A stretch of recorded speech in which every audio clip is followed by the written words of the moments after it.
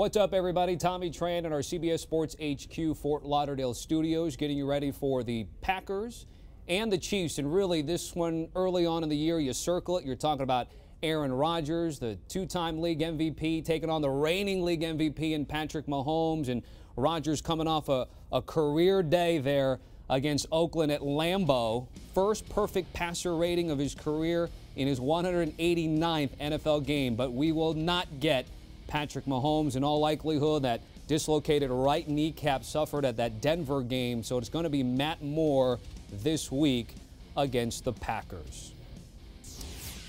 And here to break it down with me, co-host of Kanell and Bell, Danny Kanell. And first off, before we kind of get the X's and O's, Danny, how bummed are you that we're not getting Aaron Rodgers versus Patrick Mahomes? Uh, you mentioned it. This is one that you circle. Uh, they've got the commercial together in the offseason where they're having fun. I think it's Allstate. I'm not sure who the ad is with, but you see that relationship. You kind of have a passing of the torch, so to speak, although I'm sure Aaron Rodgers uh, is not ready to get past that torch just yet. But just from a superstar standpoint of faces of the NFL, not only their franchises, but faces of the league, you know, it would have been awesome. And I think it'll still be a good game, but man, it would have been a lot of fun. Yeah, you're right. The uh, State Farm commercials, I think, is yes, the one that that's what doing it right. was. Those Yes, insurance yes. ones Don't wanna mix those right up. now. I know you Yeah. get that in there. All right, as for the game, let's start with Aaron Rodgers. I mentioned the performance he had against the, the Oakland Raiders, and right now doing it without his superstar receiver, Davante Adams. What stands out to you about the way he's playing the quarterback position right Just he looks invigorated. He looks comfortable. He looks excited. I think this was a reason you saw things getting stale uh, somewhat with Mike McCarthy and the regime before there. I think Aaron Rodgers is one of the smartest quarterbacks, obviously, in the NFL, and I think he likes to be challenged. And what I think you're seeing him is getting challenged a little bit more cerebrally. Like, so he wants to get in the ins and outs of the system. And then you, the more and more comfortable he gets in this system, as we've seen, this is what's scary for every opposing defense is he knows where to go with the football. He knows to go where, where to get it quickly. And he's one of the best passers, most uh, natural throwers of the football of this generation. So that's a really scary proposition for any defense that's trying to defend him. And we saw Aaron Rodgers throw for five passing touchdowns, accounted for six total again against the Raiders. And they've been running the football. And again, the, the wide receiving corps has been banged up with Geronimo Allison kind of hurt. MVS has been hurt. They've going to Allen Lazard, the kid from, from, Yeah. from Iowa State. Um, when we talk about this offense, and let's kind of expand a little bit with a Matt LaFleur, because it, started out a little slow. They've been leaning on the defense the first few games. But again, how, how tough is it for a guy like Aaron Rodgers, who was with Mike McCarthy for so many years, to get acclimated and adjusted to a new play call? The, the only way, and probably the best way that you can fully understand what it's like to learn a new playbook is a new language. And I'm sure you've heard that before as it's described. And that's probably the biggest adjustment. The formations that are being thrown at, you've all seen those before. The pass concepts, sure, there'll be little tweaks, but most importantly, it's the verbiage. What you're saying in and out of the huddle, it'll be completely different than what you had previously. So you have to learn. So, and the, again, what I mean getting more comfortable, think about it. If you're if you're fluent in a language, you don't really have to spend much time translating in your head. All right, well, how do I say good afternoon, nice to see you, Tommy? Well, and then you think in your mind, all right, how do I say this in a new language? You can tell somebody's a little bit slow to process that, but if you to speak to somebody who's fluent in that language, all of a sudden you they're just flawless. And that's where Aaron Rodgers is getting each and week in, week out. He's not having to think as much of the line of scrimmage. He's not having to process as much. It's becoming more reactionary as he gets more and more comfortable with the verbiage and the concepts that Matt LaFleur is running. And on the other side, now we're going to have Matt Moore conversations instead of Patrick Mahomes. And, and this is something that you've had experience in, in the league as, as a backup, a veteran backup. What's Matt Moore thinking right now going into a full week knowing he's most likely going to be the guy? Matt Moore had a lot of success holding that, a lot more success than I did holding that clipboard, but it is it is somewhere I was familiar with because I was in that position most of my career. What you're asked to do leading up to this point is take all of the reps mentally. And so uh, up to this point in the season, all he's been able to do is really watch Patrick Mahomes in practice and in games and envision yourself making the same plays, making the same reads. And it's a lot of mental work. Now that he's been thrust into the role, I don't think he'll struggle that much. I don't, you know, you're not going to see the Patrick Mahomes level of play, but I could see this team have the same type of success it had under Alex Smith. You'll ha- you won't be asked to do the same things to make the throws vertically down the field, but I think Matt Moore will prove more than capable um, executing this offense. Where I do think as a backup that's unique, and hopefully he spends more time with this area of the game.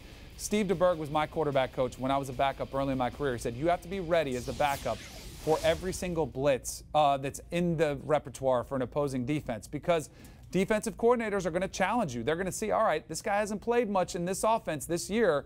Let's throw the kitchen sink at him. So that's what my advice would be for Matt Moore, and I'm sure he's doing, kind of reviewing the blitz packages, short yardage, anywhere that you could be possibly confused, you better know where to go with the football. And I think he'll be ready for it. He hadn't played football since 2017. And to your point about how even defensive guys have a little bit of film, now granted it's a half that they had against Denver, but now you have week to prepare, film to prepare how different will this offense look in your eyes? Again, there's the Mahomes factor, which you can't factor right. in, but obviously you bring in a guy, Matt Moore, you would think that you can run Andy Reid's offense. How do you anticipate the similarities, maybe the differences? I think it could help Andy Reid because it'll challenge him to be a little bit more I don't know, uh, pinpoint with his play calling. Where with Patrick Mahomes, I do think the Chiefs, even this year, some of their struggles. Don't forget they had lost a couple games.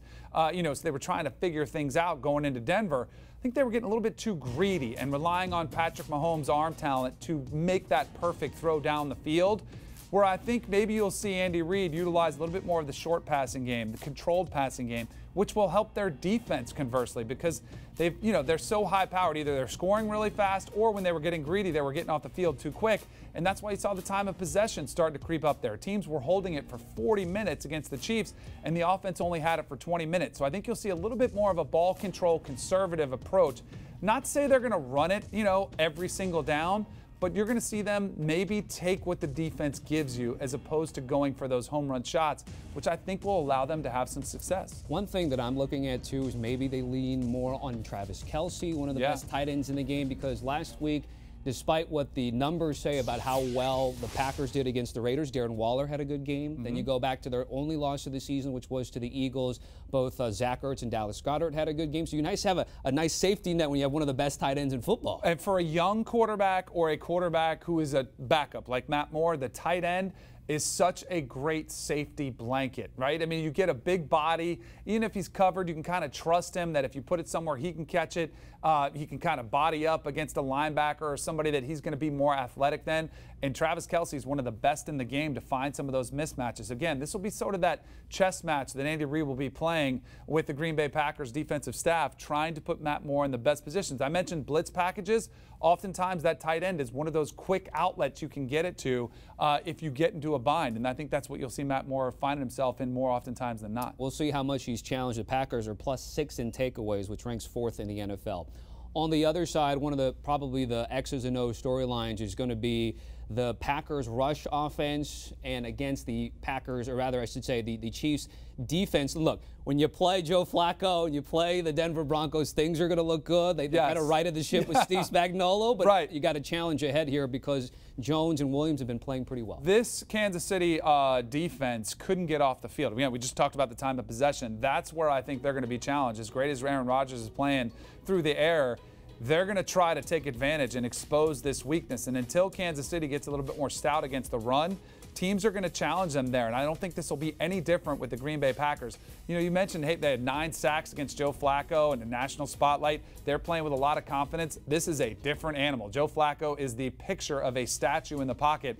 Aaron Rodgers has mobility, but he also has knowledge of where to go with the football quickly, and he can expose you if you try to bring some of those pressures that Kansas City had success with Denver. So I think you'll see a completely different looking defense against Kansas City, maybe reverting back to some of their ways which had us concerned about them.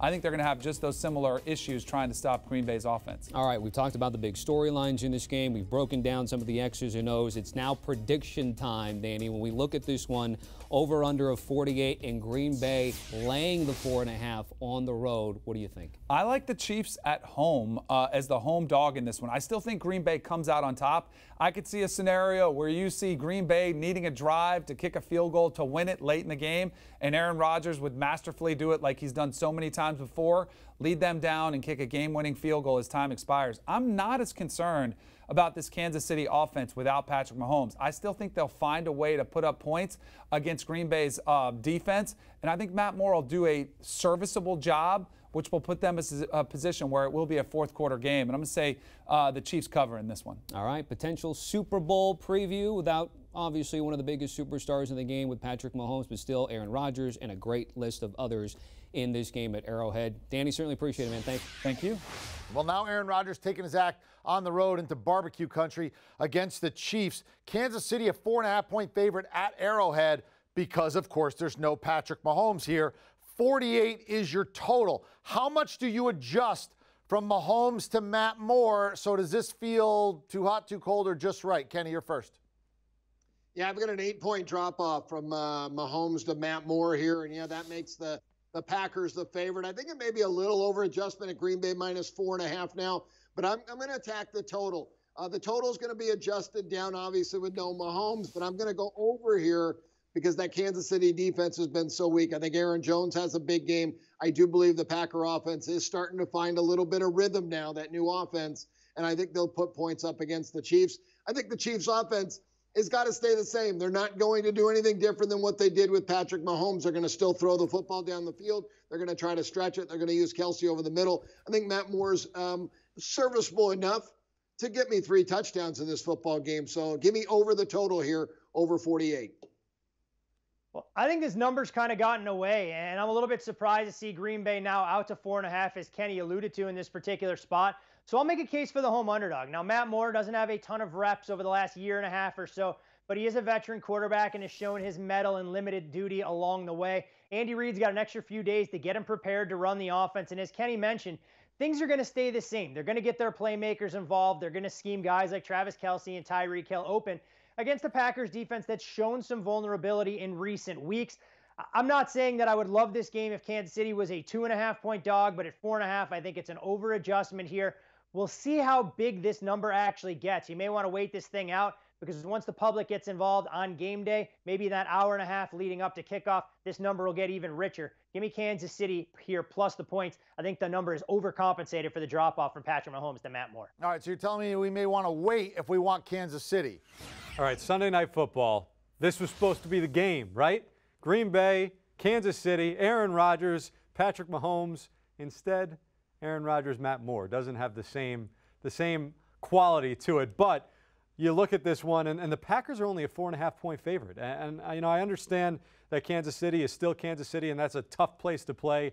But Aaron Rodgers coming off one of his best games ever, maybe his best game ever in the regular season.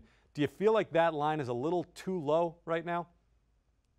Oh, this is absolutely the one point spread in week eight where I just, I'm totally baffled by this because look, here's what you have.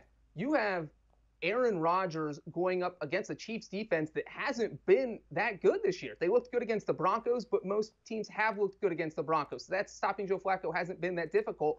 And then you have Matt Moore, a quarterback, a guy who was coaching high school football four months ago, going up against a Packers defense that has been pretty good this year. So I, I do not see any way how a Matt Moore quarterback team is going to really move the ball in this Packers defense. Aaron Rodgers coming off the first, first perfect passer rating in Green Bay Packers history. Say that five times fast. Uh, and I don't, I, you know, Rodgers was on training wheels for the first few weeks of the season. Matt LaFleur's offense, it looks like he's finally got things figured out. So I love the Packers in this game, but maybe that's what Vegas is trying to draw me into just to lose. But I, I do love the Packers in this game. I was going to say, John, that's why it scares me. Four and a half points in this game. It scares me because everything just, it seems so obvious that this is pointed towards the Packers, and, and usually Vegas knows something. Anyway, John Breech, thank you so much for the time, and, and we'll talk to you again pretty soon.